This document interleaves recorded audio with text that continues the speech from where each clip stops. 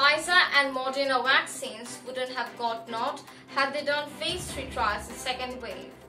Welcome to Inventiva, I'm Oishi Banik, back with today's news.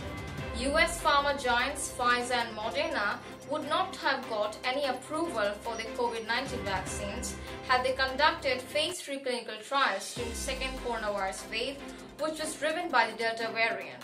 Krishna Ella, chairman and managing director of Bharat Biotech, said on Wednesday. Hyderabad-based Bharat Biotech, the manufacturer of COVID-19 Covaxin, said the efficacy of its vaccine would have been 85% against the original strain of the virus, the one that was first detected in China. I'm telling you honestly, if Pfizer and Moderna would have done a phase 3 clinical trial during the second wave, they wouldn't have got any license for the product, Ella said at an event organized by the Technology Development Board, a body under the Department of Science and Technology.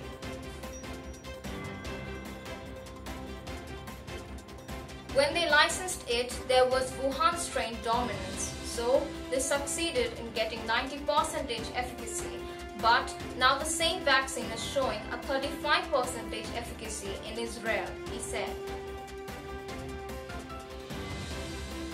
The Delta variant is known to be more virulent than the early strains of SARS-CoV-2 and Covaxin is the only one vaccine.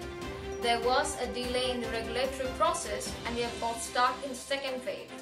And we were lucky that in the second wave we almost got 77% efficacy but had it been the Wuhan strain and not Delta, we have got 85% efficacy, Ella said.